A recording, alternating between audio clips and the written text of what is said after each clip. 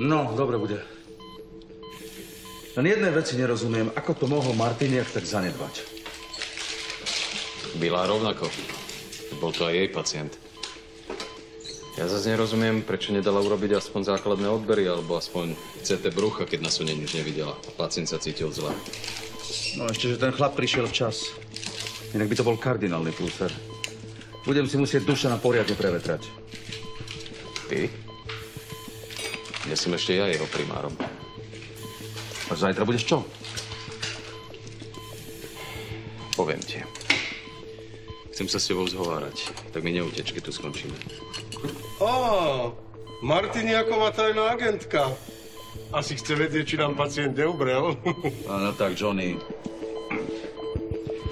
Nie, nie, nie, prepačte mi to, ja som to posral. Nemal som Patvaroša pustiť domov bez testov a bez CT. A to, že na mňa tlačil on a jeho šibnutá žena, to na tom absolútne nič nemení.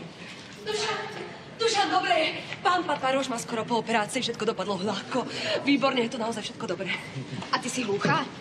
Nepočula si, že od teba chce mať pokoj? Ježiš, ale veď som ho chcela iba rozveseliť. Ak dovolíš, rada by som svojho snúbenca rozveseľovala výlučne iba ja sama. si povedal.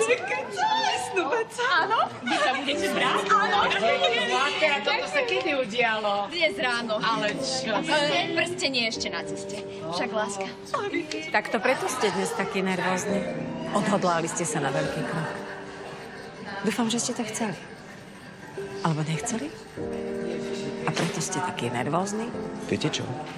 Choďte do čerta s vašimi múdrymi postrehmi.